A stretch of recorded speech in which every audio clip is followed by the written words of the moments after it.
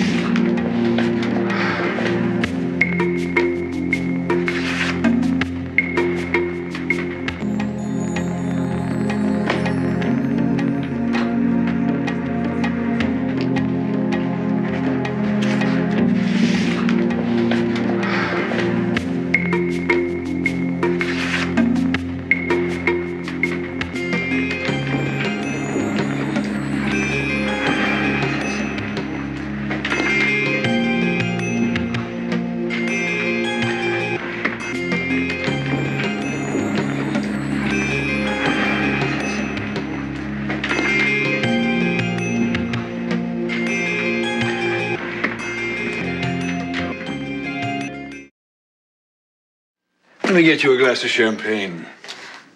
Why don't you just stick a cork in it, Adam? I'm not here to have a drink with you. Might do wonders for your nerves. My nerves are fine, thank you. Actually, I feel wonderful. And do you want to know why? Because I'm going to see a lawyer first thing in the morning to get your court order reversed. Dixie, you know better than to go up against me. I could keep you in court for months. Whatever it takes, all right? Then Junior and I are going back to Pigeon Hollow.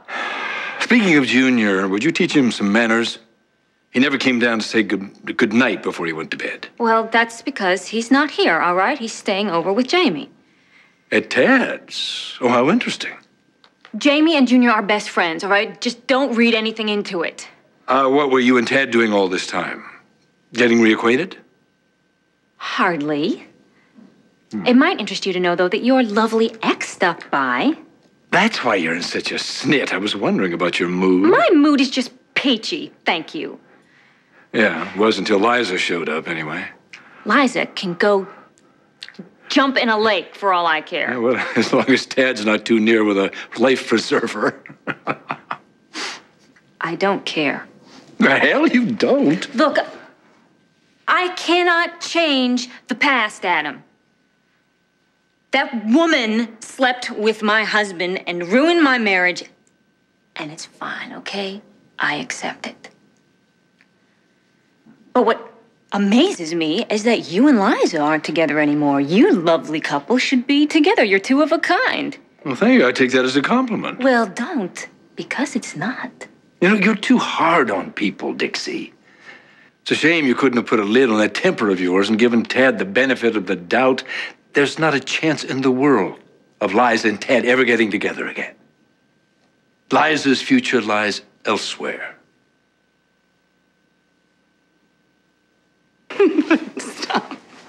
Forget it. Dixie and I are coming back from this one. That bridge has been burnt. Bridges can be rebuilt. You and Dixie did it once before. Liza, spare me, okay? It's not going to happen. So, to what do I owe the honor of this visit? Well, I actually came to talk to you because I was worried about Stuart. He was attacked tonight. Oh, Stuart, did you even get a glimpse of the sky? Oh, no, I didn't. Eliza didn't either. I was supposed to have dinner with Marian tonight. I'm so glad she wasn't with me. I'd, I'd never forgive myself if anything happened to her. I'm sure she's fine, Uncle Stuart. Could I, could I use the phone and see if she's sent, left a message? Yeah, I'll get it for you. No, no, it's okay. I, I can do it. I'm okay. Guys, we gotta get a description of this guy. Lee Hawkins could walk right by us and we wouldn't even know it. If it is Lee Hawkins. I mean, I agree the chances are very remote, but we can't rule out a random mugger. No, I agree with no, you, too. no, no. I, I think he's right. I think he's right. It is. We have to assume it's Lee. We got to protect ourselves. I'll call the Ohio DMV, see if he's got a license, maybe a picture. All right, if that doesn't work, we do a national search, all right? She didn't leave a message. I've got to find out what happened to Marian. Uncle Stuart, you're it. What? Can't you uh, draw us a sketch of Lee Hawkins? You know, like the police use? Could you do that? You, you mean to identify criminals? Yes. Well, I guess so. Well, that's great. I, I, I don't know what good it'd do. I haven't seen Lee Hawkins for, for 20 years, over 20 years. Well, hit us with your best shot, anything. There you go. Oh, great.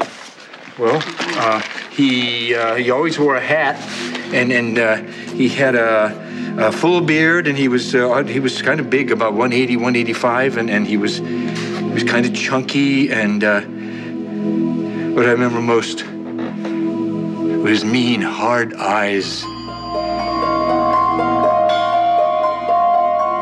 Why should I believe you're finished with the Chandlers? I- I'll prove it to you. I, I, I, I've got a piece of paper in my purse, and if you get me a stamp and an envelope, I'll write a letter to Stuart, and I'll tell him I'll never want to see him again.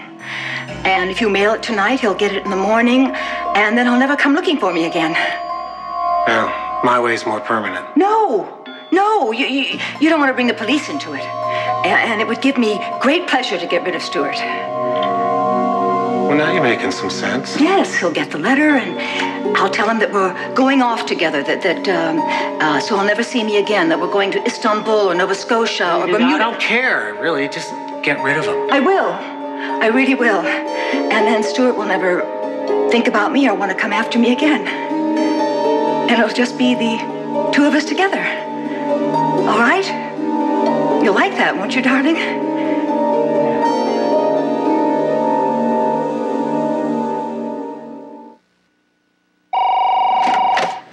Yellow? Yeah. Pretty awful, really. It's great. Well, a man can change a lot in 20 years, Hayley.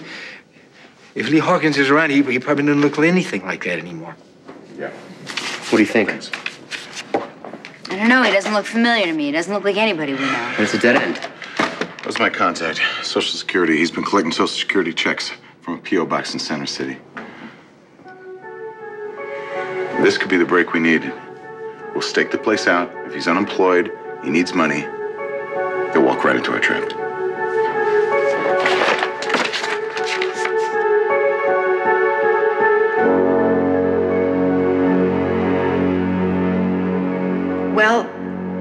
Uh, what do you think? You're a good woman. Oh, yes, you can count on me. Um, now, can I ask you to do something for me, please? Sure. Anything, Joy. I want to make you happy. Could we go out for a drive? You know, just ramble through the countryside, get a little air. Take me for? No, no, I'm not leaving here until my work is done.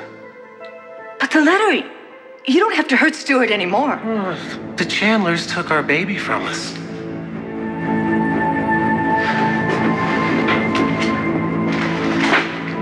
It's only right. Daughter for a daughter. We're not leaving here until Hayley's dead.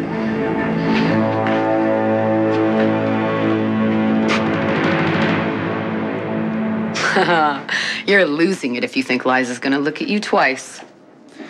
Why don't you let me worry about Liza? You worry about stopping the insemination.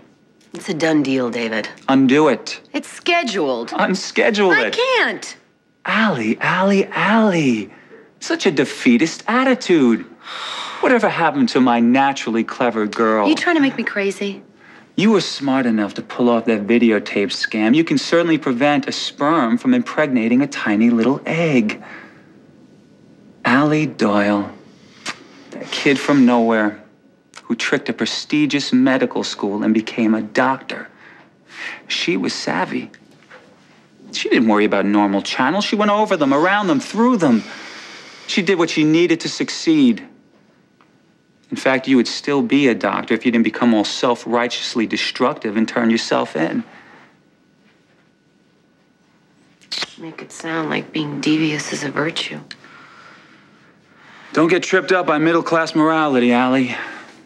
You have the potential for greatness. So better to become someone like you? Someone who's only out for herself and will manipulate and hurt anybody just to get what she wants? That's horrible. Well, it makes for a wonderful lifestyle. You know what? I hate it. It makes me sick just just looking into the mirror.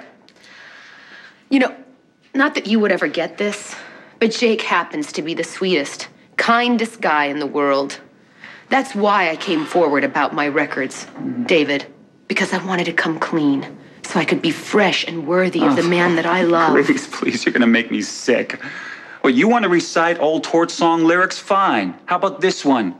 You can't love him if you don't have him. Well, I, I can't do it your way. Jake fell in love with a woman who's better than that. My advice don't be too hasty. Go. Please.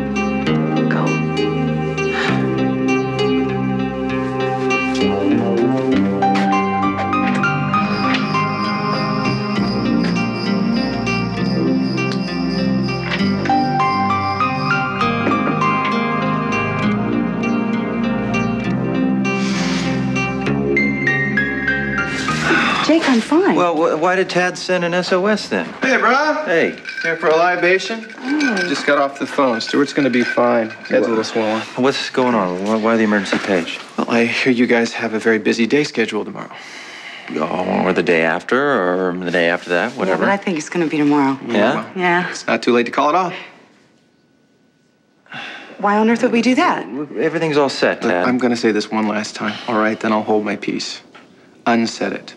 Forget about it. Or you're gonna be sorry. I told you before, this is none of your business. No, wait. Jake, let Tad have a say. I love you guys, both of you, very much. I don't want to stand by and watch you get hurt. I would go through fire to, to save you pain. So I can't stand by and let watch you inflict it on yourselves. Right now, this seems like a good idea on paper. Okay, no hassles for you, no strings attached. But it's not that simple. It's certainly not going to be that simple when you have a live, living, flesh and blood baby in your arms. After that, it's no holes barred. All plans go up in smoke. All bets are off. I know this thing as well as I know my son's name. You're in for big trouble unless you call this off right now.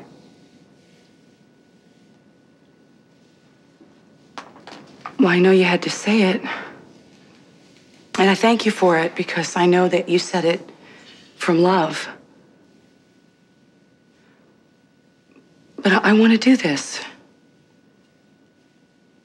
How do you feel? You know I'm with you. All the way. All right, then, so am I. For better or worse. Let's hope it's for better. Here. Give you get the can. I can remind you of something. I want to propose a toast. All right. to friends, miracle of friends, and the miracle of children. Uncle Tad. I can't wait for this baby to come. I can't wait to meet it. Here, here. Here, here. Here, here. You, dog, you actually think you and Liza are gonna get back together, don't you? You do. You've deluded yourself into thinking that you two have some kind of future together. What is that cocktail you're drinking? Is it like acid and champagne? You got a little first class trip going on? There's some things beyond your knowing, Dixie. Really? Well, know this. Tomorrow, I see a lawyer. Jerk. Hmm. And tomorrow, I'll become a father again.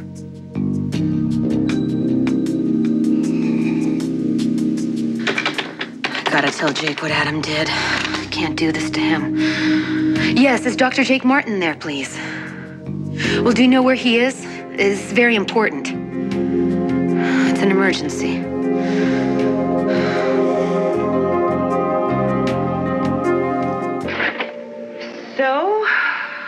What'd you think? Ooh, I still have the touch.